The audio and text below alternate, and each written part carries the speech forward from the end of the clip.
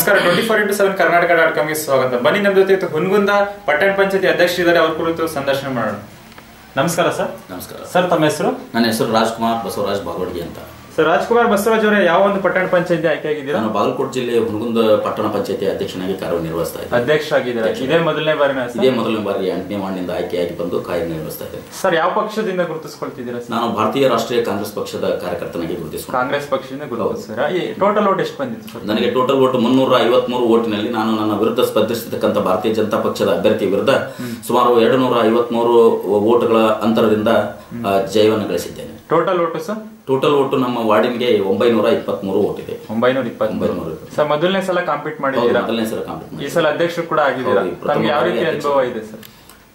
ನೋಡಿ ನಾನು ನಾನು ವೈಯಕ್ತಿಕ ನನ್ನ ವೃತ್ತಿಯಿಂದ, ವಕೀಲಿ ವೃತ್ತಿಯಿಂದ ಬಂದಿರೋದ್ರಿಂದ, ಅದು ಅಲ್ಲದೆ ಸುಮಾರು ಹತ್ತು ವರ್ಷಗಳಿಂದ ಈ ರಾಜಕೀಯ ಜೀವನದಲ್ಲಿ ಇರೋದ್ರಿಂದ, ನಾನು ನಾನು ಭಾರತೀಯ ರಾಷ್ಟ್ರೀಯ ಕಾಂಗ್ರೆಸ್ ಪಕ್ಷದಲ್ಲಿ ಬಾಗಲಕೋಟೆ ಜಿಲ್ಲಾ ಒಂದು ಯೂತ್ ಕಾಂಗ್ರೆಸ್ದ ಪ್ರಧಾನ ಕಾರ್ಯದರ್ಶಿಯಾಗಿ ಹಾಗೂ ಹುನಗುಂದ ತಾಲೂಕಿನ ಯುವ ಕಾಂಗ್ರೆಸ್ ಪ್ರಧಾನ ಕಾರ್ಯದರ್ಶಿಯಾಗಿ ಹಾಗೂ ಬಾಗಲಕೋಟೆ ಜಿಲ್ಲೆಯ ಪಂಚಮಸಾಲಿ ಸಮುದಾಯದ ಹಕ್ಕೊತ್ತಾಯ ವೇದಿಕೆಯ ಅಧ್ಯಕ್ಷನಾಗಿ ಸಾಕಷ್ಟು ಬಾರಿ ನಾನು ಸಾರ್ವ, ಸಾಮಾಜಿಕ ಕೆಲಸಗಳನ್ನು ಮಾಡಿದ್ರಿಂದ ನಾನು ಭಾರತೀಯ ರಾಷ್ಟ್ರೀಯ ಕಾಂಗ್ರೆಸ್ ಪಕ್ಷದಲ್ಲಿ ಪ್ರಪ್ರಥಮ ಬಾರಿಗೆ ಆಯ್ಕೆಯಾಗಿ ಬಂದು ನಮ್ಮ ಹುನಗುಂದ ತಾಲೂಕಿನ ಈಗ ಪ್ರಸ್ತುತ ಶಾಸಕರಾಗಿರ್ತಕ್ಕಂಥ ಡಾಕ್ಟರ್ ವಿಜಯಾನಂದ ಎಸ್ ಕಾಶಪ್ಪನವರ ಒಂದು ವಿಶ್ವಾಸಕ್ಕೆ ನನ್ನನ್ನು ತೆಗೆದುಕೊಂಡು ಅವರು ಇಲ್ಲಿ ನನ್ನನ್ನು ಅಧ್ಯಕ್ಷನಾಗಿ ಕಾರ್ಯನಿರ್ವಹಿಸಲಿಕ್ಕೆ ಅವರು ನನಗೆ ಅವಕಾಶವನ್ನು ಒದಗಿಸಿಕೊಟ್ಟಿದ್ದಾರೆ ಅಂತಂತಂದ್ರೆ ತಪ್ಪಾಗ್ಲಿಕ್ಕಿಲ್ಲ ಅಂತ ಹೇಳಕ್ಕೆ ಇಷ್ಟಪಡ್ತೀನಿ. ಸರ್ ತಮ್ಮ ವೈಯಕ್ತಿಕ ವೃತ್ತಿ ಬಂದು ವಕೀಲಿ ವೃತ್ತಿ. ಹೌದು. ವಕೀಲಿ ವೃತ್ತಿಯಿಂದ ತಮಗೆ ಸ್ಫೂರ್ತಿ ಏನಿರ್ಬೋದು ಸರ್ ರಾಜಕೀಯಕ್ಕೆ ಬರೋದಕ್ಕೆ?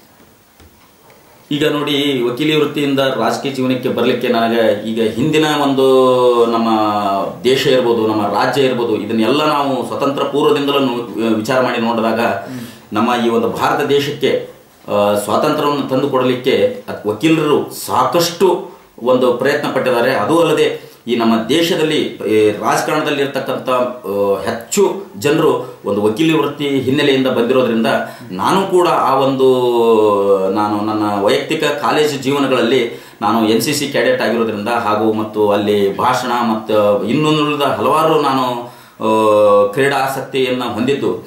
ಆ ಒಂದು ಇದ್ರ ಮುಖಾಂತರ ಹಿನ್ನೆಲೆಯಿಂದ ಬಂದಿರೋದಕ್ಕಾಗಿ ನಾನು ಇಲ್ಲಿ ಸಾಮಾಜಿಕ ಕ್ಷೇತ್ರದಲ್ಲಿ ನಾನು ಮುಂದುವರೆದು ನಾಯಕತ್ವ ಗುಣವನ್ನು ಬೆಳೆಸಿಕೊಂಡು ಇವತ್ತಿನ ದಿವಸ ಈ ಒಂದು ಹುದ್ದೆಗೆ ಬಂದು ಕುಂತಿದ್ದೀನಿ ಅಂತಂತ ಹೇಳಕ್ ಇಷ್ಟಪಡ್ತೇನೆ. ಸರ್ ತಾವು ಎಂಟನೇ ವಾರ್ಡಿಂದ ಗೆದ್ದಿದ್ದೀರಾ ತಮ್ಮ ಎಂಟನೇ ವಾರ್ಡಲ್ಲಿ ಮುಖ್ಯವಾಗಿ ಏನು ಕುಂದುಕೊರತೆಗಳಿದೆ ಸರ್? ನೋಡಿ ಗ್ರಾಮೀಣ ಮಟ್ಟದಲ್ಲಿ ನಾ ಹೇಳಬೇಕಪ್ಪ ಅಂತಂತಂದ್ರೆ ನಮ್ಮ ಹುನಗುಂದ ಪಟ್ಟಣ ಪಂಚಾಯತ ಒಂದು ರೀತಿ ಪಟ್ಟಣ ಅಂತ ಅನಿಸ್ಕೊಂಡ್ರು ಕೂಡ ಇನ್ನೂ ಕೂಡ ನಮ್ಮ ಊರಿನಲ್ಲಿ ಗ್ರಾಮೀಣ ಮಟ್ಟದ ಸೊಗಡು ಇದೆ ಅಂತ ಹೇಳಕ್ ಇಷ್ಟಪಡ್ತೀನಿ. ಅದು ಅಲ್ಲದೆ ನಮ್ಮ ಎಂಟನೇ ವಾರ್ಡಿನಲ್ಲಿ ಇನ್ನೂ ಕೆಲವೊಂದು ರಸ್ತೆಗಳು ಆಗಬೇಕಾಗಿದೆ. ನಮ್ಮ ಊರಿನಲ್ಲಿ ನಿಜವಾಗ್ಲೂ ಹೇಳಬೇಕಾದ್ರೆ ನೀರಿನ ತೊಂದರೆ ಇಲ್ಲ. ದಿವಂಗತ ಎಸ್ ಆರ್ ಕಾಶಪ್ಪನವರ ಪುಣ್ಯದಿಂದ ನಮ್ಮ ಹುನಗುಂದ ಪಟ್ಟಣಕ್ಕೆ ಸಾಕಷ್ಟು ನೀರಿನ ಅನುಕೂಲತೆ ಇದೆ.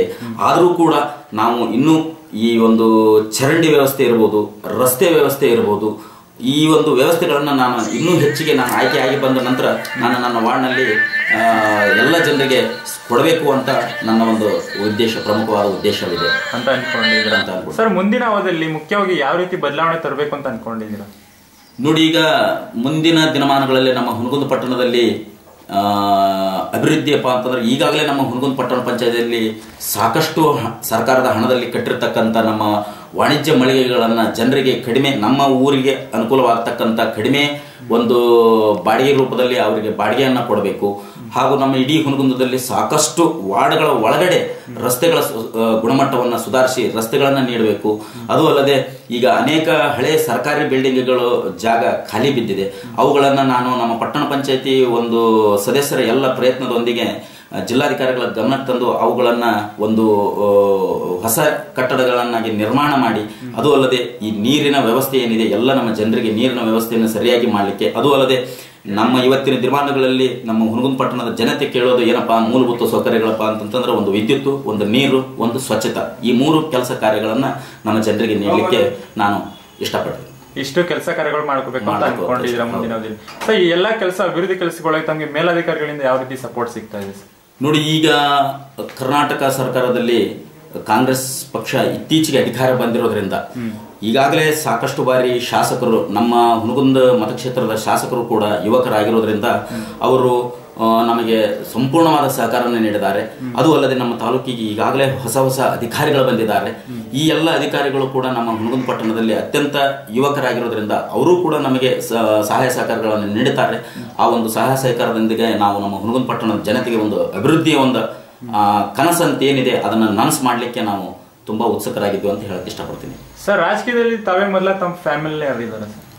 ನಮ್ಮ ಕುಟುಂಬದಲ್ಲಿ ನನಗೆ ರಾಜಕೀಯ ಬರಲಿಕ್ಕೆ ಸ್ಫೂರ್ತಿ ಅಂದರೆ ನಮ್ಮ ಅಜ್ಜನವರಾಗಿರ್ತಕ್ಕಂಥ ದಿವಂಗತ ಕರ್ಸಂಗಪ್ಪನವರು ಅವರು ಸಾಕಷ್ಟು ಸಾಮಾಜಿಕ ಕೆಲಸಗಳಲ್ಲಿ ತಮ್ಮನ್ನು ತಾವು ಗುರುತಿಸಿಕೊಂಡಿದ್ರು.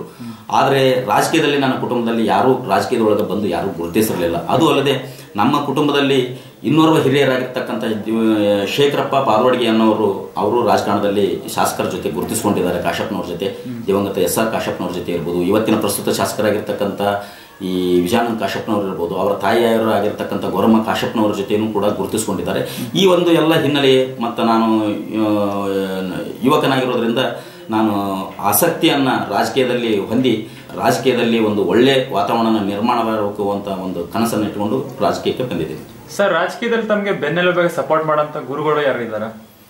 ನಮ್ಮ ಈ ಒಂದು ರಾಜಕೀಯದಲ್ಲಿ ನನಗೆ ನಿಜವಾಗ್ಲೂ ಬೆನ್ನೆಲುಬು ಅಂತಂತಂದ್ರೆ ನಾನು ನಮ್ಮ ಈ ಒಂದು ಹುನಗುಂದ ಪಟ್ಟಣದಲ್ಲಿ ಇಡೀ ಕರ್ನಾಟಕ ರಾಜ್ಯದಲ್ಲಿಯೇ ನಮ್ಮ ಈ ಒಂದು ಕಾಂಗ್ರೆಸ್ ಪಕ್ಷದಲ್ಲಿ ಕಾಶಪ್ಪನವರ ಮನೆತನ ಅನ್ನೋದು ಒಂದು ಏನಿದೆ, ಅದು ಒಂದು ಒಂದು ತನ್ನದೇ ಆದಂಥ ಛಾಪನ್ನು ಕೂಡ ಮೂಡಿಸಿದೆ. ಅಂದರೆ ತಪ್ಪಾಗಲಿಕ್ಕಿಲ್ಲ.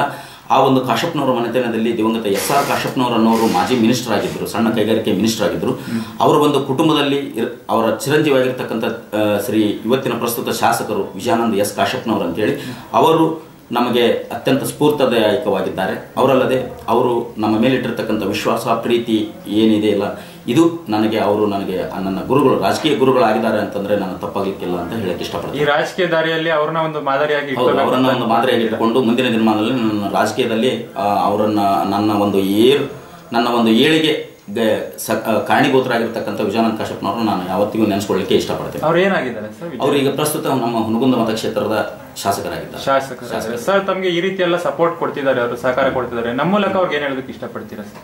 ನಿಮ್ಮ ಮೂಲಕ ಏನಿಲ್ಲ. ಈಗ ಇಡೀ ನಮ್ಮ ಕರ್ನಾಟಕ ರಾಜ್ಯ ಸರ್ಕಾರದಲ್ಲಿ ಏನು ಹಿಂದೆಗಡೆ ಒಂದು ಸುಮಾರು ಒಂಬತ್ತು ವರ್ಷಗಳ ಒಂದು ಕಾರ್ಯವನ್ನು ಏನು ಒಂದು ಬಿಜೆಪಿ ಸರ್ಕಾರ ನಿರ್ವಹಿಸಿತ್ತು ಆ ಒಂದು ವೈಖರಿಯನ್ನು ಜನ ಒಂದು ಬೇಸರಗೊಂಡು ನಮ್ಮ ಕರ್ನಾಟಕ ರಾಜ್ಯದಲ್ಲಿ ಅಭೂತಪೂರ್ವವಾದ ಯಶಸ್ಸನ್ನು ನಮ್ಮ ಕಾಂಗ್ರೆಸ್ ಪಕ್ಷಕ್ಕೆ ಕೊಟ್ಟಿದ್ದಾರೆ.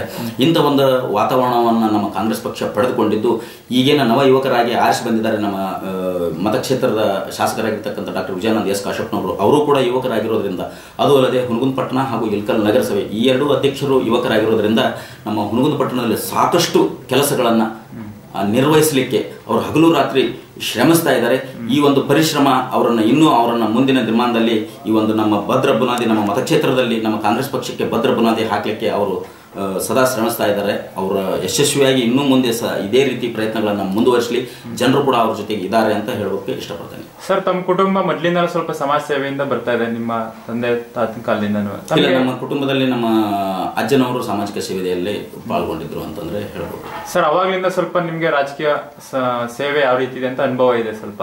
ಇಲ್ಲ ನಾನು ವಿದ್ಯಾರ್ಥಿ ದೆಸೆಯಿಂದ ನಾನು ಸುಮಾರು ಹದಿನೈದು ವರ್ಷಗಳ ವಿದ್ಯಾರ್ಥಿ ಜೀವನವನ್ನು ನಾನು ಬೇರೆ ಬೇರೆ ಹಾಸ್ಟೆಲ್ಗಳಲ್ಲಿ ಬೇರೆ ಬೇರೆ ಊರುಗಳಲ್ಲಿ ಕಲಿತಿರೋದ್ರಿಂದ ನಿಜವಾಗ್ಲೂ ಜನರ ಜೀವನಾಡಿ ಏನಿದೆ ಆಮೇಲೆ ಜನರಲ್ಲಿ ಯಾವ ರೀತಿ ಒಂದು ಸೇವೆಯನ್ನು ಮಾಡಬೇಕು, ಎನ್ ಸಿ ಸಿ ಕೆಡೆಟ್ ಆಗಿರೋದ್ರಿಂದ ಮತ್ತು ಇನ್ನುಳಿದ ನಾಯಕತ್ವ ಗುಣಗಳನ್ನು ನಾನು ಬೆಳೆಸ್ಕೊಂಡಿರೋದ್ರಿಂದ ಜನರ ನಾಡಿ ಮಿಡಿತ ಜನರ ಸಮಸ್ಯೆಗಳು ಏನದವ ಅಂತ ತಿಳ್ಕೊಳ್ಳಿಕ್ಕೆ ನನಗೆ ಒಂದು ಇದು ಅವಕಾಶ ಬಂದಿದೆ. ಆ ಒಂದು ಅವಕಾಶವನ್ನ ಇವತ್ತಿನ ದಿವಸ ರಾಜಕಾರಣದಲ್ಲಿ ಬಳಸ್ಕೊಂಡು ಮುನ್ನುಗ್ಗಬೇಕು ಅಂತ ತಿಳ್ಕೊಂಡು ನಾನು ಇವತ್ತಿನ ದಿವಸ ರಾಜಕಾರಣಕ್ಕೆ ಬಂದಿದ್ದೀನಿ. ಸರ್ ತಮಗೆ ಎಷ್ಟು ವರ್ಷದ ಅನುಭವ ಇದೆ ಸರ್ ರಾಜಕೀಯ? ರಾಜಕೀಯದಲ್ಲಿ ನನಗೆ ಸುಮಾರು ಒಂದು ಹತ್ತು ವರ್ಷದ ಅನುಭವ ಇದೆ ಅಂತ ಹೇಳ್ಬೋದು. ಸರ್ ಹತ್ತು ವರ್ಷದ ಹಿಂದೆಕ್ಕೂ ಇವಾಗಲೂ ಏನೋ ವ್ಯತ್ಯಾಸ ಕಾಣ್ತಾ ಇದೆ ರಾಜಕೀಯ ತುಂಬಾ ವ್ಯತ್ಯಾಸ ಆಗಿದೆ. ರಾಜಕಾರಣದಲ್ಲಿ ಯಾಕಪ್ಪ ಅಂತಂತಂದ್ರೆ ಇವತ್ತಿನ ದಿವಸ ಈ ಒಂದು ಕರ್ ಈ ಒಂದು ನಮ್ಮ ದೇಶದಲ್ಲಿ ಯುವಕರು ರಾಜಕಾರಣದಲ್ಲಿ ಬರ್ತಾ ಇದ್ದಾರೆ. ಯುವಕರು ಹೆಚ್ಚು ಹೆಚ್ಚು ಒಂದು ಯುವಕರು ಈ ಒಂದು ರಾಜಕಾರಣದಲ್ಲಿ ಬರೋದ್ರಿಂದ ಇವತ್ತಿನ ದಿವಸದಲ್ಲಿ ಈ ಎಲ್ಲ ಜನಸಾಮಾನ್ಯರಿಗೆ ಏನಪ್ಪಾ ಅಂತಂತಂದ್ರೆ ರಾಜಕಾರಣ ಬೇಸರ ಮೂಡಿಸಿದ್ರು ಅಂತಕ್ಕಂಥ ಸಂಗತಿ ಇದೆ. ಇಂಥ ಒಂದು ಸಂದರ್ಭವನ್ನು ಈ ರಾಜಕಾರಣವನ್ನು ಸ್ವಚ್ಛವಾಗಿ ನಿರ್ ನಿರ್ಮಾಣ ಮಾಡಿ ಆ ಒಂದು ಜನರಿಗೆ ಒಂದು ಒಳ್ಳೆಯ ಸಂದೇಶವನ್ನು ಕೊಡಲಿಕ್ಕೆ ಯುವಕರ ಪಾತ್ರ ನಮ್ಮ ದೇಶದಲ್ಲಿ ಅತ್ಯಂತ ಒಂದು ಅವಶ್ಯಕತೆ ಇದೆ ಅಂತ ಹೇಳಬಹುದು ಆ ಒಂದು ಅವಶ್ಯಕತೆಗಾಗಿ ನಾನು ಕೂಡ ಈ ರಾಜಕಾರಣಕ್ಕೆ ಪಾದಾರ್ಪಣೆಗೆ ಇದ್ದಿದ್ದೆ. ಸರ್ ಒಂದು ವಾರ್ಡ್ನಲ್ಲಿ ಜನತೆ ಕಷ್ಟ ಅಂತ ಇದ್ದೇ ಇರುತ್ತೆ. ಹೌದು. ಅವ್ರು ಕಷ್ಟ ಅಂತ ಏನೋ ಪ್ರಾಬ್ಲಮ್ಸ್ ತಂದಾಗ ತಮ್ಮ ಬಳಿ ತಾವು ಯಾವ ರೀತಿ ಸಂಪರ್ಕದಲ್ಲಿ ಇರ್ತೀರಾ ಸರ್ ಅವ್ರ ಜೊತೆ? ನೋಡಿ ದಿನದ ಇಪ್ಪತ್ನಾಲ್ಕು ಗಂಟೆಯಲ್ಲೂ ಕೂಡ ಜನರು ತಮ್ಮ ಸಮಸ್ಯೆಗಳನ್ನ ಹೇಳಲಿಕ್ಕೆ ನಮ್ಮ ಹತ್ರ ಇಷ್ಟಪಡ್ತಾರೆ. ಯಾಕಪ್ಪ ಅಂತಂತಂದ್ರೆ ಅವರು ಮೇಲ್ಮಟ್ಟದಲ್ಲಿ ಹೋಗಿ ಶಾಸಕರಿಗೆ ಆಗಲಿ ಅಥವಾ ಮೇಲಧಿಕಾರಿಗಳಾಗಲಿ ತಮ್ಮ ಸಮಸ್ಯೆಗಳನ್ನು ಹೇಳ್ಕೊಳಕ್ಕೆ ಆಗೋದಿಲ್ಲ. ಅವರು ಸಾಮಾನ್ಯವಾಗಿ ಏನಪ್ಪಾ ಅಂತಂದ್ರೆ ನಮ್ಮ ವಾರ್ಡಿಂದ ಹಾರಿಸಿ ಬಂದಿರತಕ್ಕಂಥ ನಮ್ಮ ಸದಸ್ಯರಲ್ಲಿ ಬಂದು ಅವರು ತಮ್ಮ ಸಮಸ್ಯೆಗಳನ್ನು ಹೇಳ್ಕೊಳ್ತಾರೆ ಅವ್ರ ಮನೆಯಲ್ಲಿ ಯಾರಾದರೂ ಏನಾದರೂ ತೀರ್ಕೊಂಡಿರ್ಬೋದು ಅಥವಾ ಅವರ ಮನೆಯಲ್ಲಿ ಸುತ್ತಮುತ್ತಲ ವಾತಾವರಣ ಹದಗೆಟ್ಟಿರ್ಬೋದು. ಆಮೇಲೆ ಆ ವಾರ್ಡ್ನಲ್ಲಿ ಇರ್ತಕ್ಕಂಥ ಕೆಲವೊಂದು ಕೆಲಸ ಕಾರ್ಯಗಳಿರ್ಬೋದು. ನೀರು ಬಂದಿರಲಿಲ್ಲ ಅಂತಿರ್ಬೋದು. ರಸ್ತೆ ಸರಿಯಾಗಿರಲಿಲ್ಲ ಅಂತಿರ್ಬೋದು. ಗಟರ್ಗಳು ಆಗಿರಲಿಲ್ಲ. ವಿದ್ಯುತ್ ಶಕ್ತಿ ಇರಲ್ಲ. ಇಂಥ ಒಂದು ಸಣ್ಣ ಪುಟ್ಟ ಸಮಸ್ಯೆಗಳನ್ನು ಅವರು ನಮಗೆ ಹೇಳಕ್ಕೆ ಬಂದಾಗ ನಾವು ಅವರಿಗೆ ಒಳ್ಳೆ ರೀತಿಯಿಂದ ಸ್ಪಂದಿಸಿದರೆ ಅವರು ನಿಜವಾಗ್ಲೂ ಮುಂದಿನ ದಿನಮಾನಗಳಲ್ಲಿ ಯಾವ ಹಣದ ವ್ಯವಸ್ಥೆಗಾಗಲಿ, ಹೆಂಡದ ವ್ಯವಸ್ಥೆಗಾಗಲಿ, ಯಾವ ವ್ಯವಸ್ಥೆಗೂ ಕೂಡ ಅವರು ಮನಸ್ಸೋಲದೆ ನಿಜವಾದ ಒಬ್ಬ ಸಂಘಟನೆಗಾರ ಹಾಗೂ ನಿಜವಾದ ಒಬ್ಬ ಯುವಕನಿಗೆ ಅವರು ಯಾವತ್ತಿಗೂ ಸಪೋರ್ಟ್ ಮಾಡೇ ಮಾಡ್ತಾರೆ ಅನ್ನೋ ಒಂದು ಆಸೆ ನನ್ನಲ್ಲಿದೆ ನಿಮ್ಮಲ್ಲಿದೆ ಸರ್ ನಮ್ಮ ಪಟ್ಟಣ ಪಂಚಾಯತಿನಲ್ಲಿ ಎಷ್ಟು ಜನ ಕೌನ್ಸಿಲರ್ ಇದ್ದಾರೆ ಸರ್? ನಮ್ಮ ಹುಣಗುಂದ ಪಟ್ಟಣ ಪಂಚಾಯತಿಯಲ್ಲಿ ಒಟ್ಟು ಹದಿನಾರು ಜನ ಕೌನ್ಸಿಲರ್ಸ್ ಇದ್ದಾರೆ. ನಿಮ್ ಬಿಟ್ಟಿನ ಹದಿನೈದು ಜನ ನಾನು ಬಿಟ್ಟು ಇನ್ನೂ ಒಟ್ಟು ಹದಿನೈದು ಜನರು ಇದ್ದಾರೆ. ಸರ್ ಹದಿನೈದು ಜನದಲ್ಲಿ ಅಭಿವೃದ್ಧಿ ಕಡೆಗೆ ಯಾವ ರೀತಿ ಹೊಂದಾಣಿಕೆ ಇರ್ಬೋದು ಅಂತ ಅನ್ಸುತ್ತೆ ತಮಗೆ? ಈಗ ಸದ್ಯದ ಮಟ್ಟಿಗೆ ನಾವು ಹೊಸದಾಗಿ ಈ ಒಂದು ಪಟ್ಟಣ ಪಂಚಾಯತಿಗೆ ಆರಿಸಿ ಬಂದಿರೋದ್ರಿಂದ ಈ ಒಂದು ಹದಿನಾರು ಜನರಲ್ಲಿ ಸುಮಾರು ಒಂದು ಮೂರರಿಂದ ನಾಲ್ಕು ಜನ ಈಗಾಗಲೇ ಹಳೆಯ ಒಂದು ಕಮಿಟಿಯಲ್ಲಿ ಆರಿಸಿ ಬಂದಿದ್ದ ಇದ್ದಾರೆ. ಅವರು ಹಿರಿಯರಿದ್ದಾರೆ. ಅವರು ಒಂದು ಮಾರ್ಗದರ್ಶನ ಹಾಗೂ ಇತ್ತೀಚೆಗೆ ಏನು ನಮ್ಮ ಕಾಂಗ್ರೆಸ್ ಪಕ್ಷದಿಂದ ಸುಮಾರು ಹನ್ನೆರಡು ಜನ ಆರಿಸಿ ಬಂದಿದ್ದೀವಿ. ಸಂಪೂರ್ಣವಾದ ಬೋರ್ಡ್ ಕೂಡ ನಮ್ಮ ಪಟ್ಟಣ ಪಂಚಾಯತಿಯಲ್ಲಿ ನಮ್ಮದೇ ಆಗಿರೋದ್ರಿಂದ ಅವರೆಲ್ಲ ಏನು ಯಾವ ರೀತಿಯಾದಂಥ ಒಂದು ಸಹಕಾರಗಳನ್ನು ನಮಗೆ ನೀಡ್ತಾ ಇದ್ದಾರೆ. ಆ ಒಂದು ಸಹಕಾರನ ನಾನು ಪಡೆದುಕೊಂಡು ನಮ್ಮ ಹುಣಗುಂದ ಪಟ್ಟಣವನ್ನು ಅಭಿವೃದ್ಧಿ ಹೊಂದದ ದಿಕ್ಕಿಗೆ ಒಯ್ಯಲಿಕ್ಕೆ ನಾನು ಸಂಪೂರ್ಣವಾದ ಪ್ರಯತ್ನ ಪಡ್ತಾ ಇದ್ದೀನಿ. ಸರ್, ತಾವೊಂದು ಅಧ್ಯಕ್ಷ ಸ್ಥಾನದಲ್ಲಿ ಇದ್ದವ್ರಿಗೆಲ್ಲ ಏನು ಹೇಳೋದಕ್ಕೆ ಇಷ್ಟಪಡ್ತೀರಾ ಸರ್, ಒಂದು ಮಾತು? ನಮ್ಮ ಇಡೀ ಅಖಂಡ ಕರ್ನಾಟಕದಲ್ಲಿ ಅಧ್ಯಕ್ಷ ಸ್ಥಾನದಲ್ಲಿ ಇರತಕ್ಕಂಥ ನನ್ನ ಎಲ್ಲ ಅಧ್ಯಕ್ಷ ಸಹೋದರರು, ಸಹೋದರಿಯರಿಗೆ ಇರತಕ್ಕಂಥ ಎಲ್ಲರಿಗೂ ಕೂಡ ನಾನು ಕೊಡ್ತಕ್ಕಂಥ ಒಂದು ಸಂದೇಶ ಏನಪ್ಪ ಅಂತಂತಂದ್ರೆ, ಈ ಒಂದು ಪದವಿ ಮೇಲೆ ಕೂತ್ಕೊಂಡ ಮೇಲೆ ಸಾಕಷ್ಟು ತೊಂದರೆಗಳು ಬರೋದು ಸಹಜ. ಆ ಎಲ್ಲ ಕಷ್ಟ ಹಾಗೂ ತೊಂದರೆಗಳನ್ನು ಮೀರಿ ನಮ್ಮ ಎಲ್ಲ ಸದಸ್ಯರ ಸಹಕಾರವನ್ನು ಪಡೆದುಕೊಂಡು ನಿಜವಾಗ್ಲೂ ಏನು ನಮ್ಮ ಅಧಿಕಾರಾವಧಿ ಇರ್ತದ, ಆ ಒಂದು ಅಧಿಕಾರಾವಧಿಯಲ್ಲಿರ್ತಕ್ಕಂಥ ಒಂದು ಇದನ್ನು ರೂಢಿಸಿಕೊಂಡು ನಾವು ಎಲ್ಲ ಜನರಿಗೆ ಇವತ್ತಿನ ದಿವಸ ಅಭಿವೃದ್ಧಿ ಪಥದ ಹತ್ರ ಅವರ ಕಷ್ಟ ಕಾರ್ಪಣ್ಯಗಳನ್ನು ನೀಗಿಸಲಿಕ್ಕೆ ನಾವು ಏನಾದರೂ ಕಷ್ಟಪಟ್ಟರೆ ನಿಜವಾಗಲೂ ಕೂಡ ಅದು ಒಂದು ಮುಂದಿನ ದಿನಮಾನದಲ್ಲಿ ನಾವು ನಮ್ಮ ಪದವಿಯನ್ನು ಉಳಿಸ್ಕೋಬಹುದು. ಜನಸೇವೆಯನ್ನು ಮಾಡಲಿಕ್ಕೆ ರಾಜಕಾರಣದಲ್ಲಿ ನಾವು ಜನರಿಗೆ ಒಂದು ಒಳ್ಳೆಯ ವಾತಾವರಣ ಕಲ್ಪಿಸೋದಕ್ಕೆ ನಮ್ಗೆ ಮತ್ತೆ ಮತ್ತೆ ಅವರು ಅವಕಾಶವನ್ನು ಕೊಟ್ಟೇ ಕೊಡ್ತಾರೆ ಜನರು ಅಂತ ಹೇಳಲಿಕ್ಕೆ ಇಷ್ಟಪಡ್ತೀನಿ. ಎಲ್ಲ ರೀತಿಯ ಅಭಿವೃದ್ಧಿ ಕೆಲಸಗಳಿಗೆ ಒತ್ತು ಕೊಡೋಣ ಎಲ್ಲ ರೀತಿಯ ಅಭಿವೃದ್ಧಿ ಕೆಲಸಗಳಿಗೆ ಒತ್ತು ಕೊಡಲೇಬೇಕು ಸರ್ ರಾಜಕೀಯ ಬಿಟ್ಟು ಬೇರೆ ಯಾವ ಸಂಘ ಸಂಸ್ಥೆಯಲ್ಲಿ ತಮ್ಮಂತ ಗುರುತಿಸ್ಕೊಂಡಿದ್ದೀರಾ? ನಾನು ರಾಜಕೀಯ ಬಿಟ್ಟು ನಾನು ನಮ್ಮ ಸಮಾಜದ ಕೆಲಸ ಕಾರ್ಯಗಳಲ್ಲಿ ಪಾಲ್ಗೊಳ್ತೇನೆ.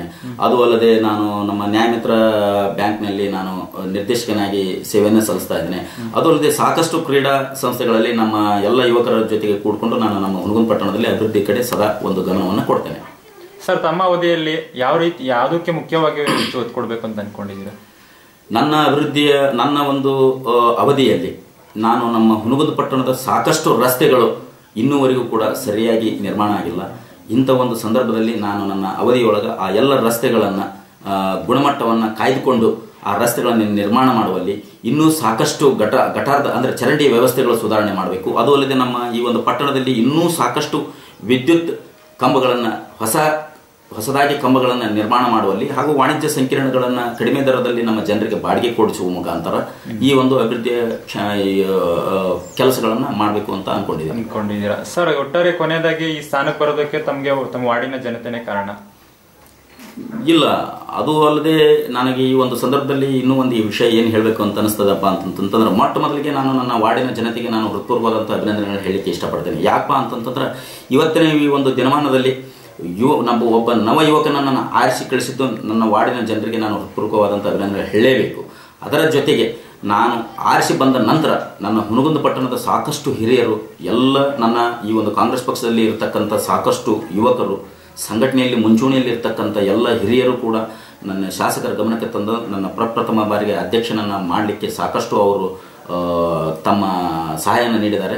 ಅವರೆಲ್ಲರ ಅಭಿವೃದ್ಧಿ ಅವರೆಲ್ಲರ ಸಹಕಾರದಿಂದ ನಾನು ಇವತ್ತಿನ ದಿವಸ ಈ ಪದವಿ ಬರಲಿಕ್ಕೆ ಕಾರಣ ಆಗಿತ್ತು ಅಂತ ಹೇಳಕ್ಕೆ ಇಷ್ಟಪಡ್ತೇನೆ. ಸರ್ ತಮ್ಮ ಒಂದು ಪಟ್ಟಣ ಪಂಚಾಯತಿ ಬೇರೆ ತಾಲೂಕುಗಳಿಗೆ ಮಾದರಿಯಾಗಿರಲಿ ಅಂತ ಆಶಿಸ್ತೀವಿ. ತಮ್ಮ ಜೊತೆ ಮಾತಾಡಿ ತುಂಬಾ ಖುಷಿ ಆಯ್ತು ಸರ್. ಧನ್ಯವಾದಗಳು. ನಮ್ಮ ನಮಸ್ಕಾರ. ತುಂಬ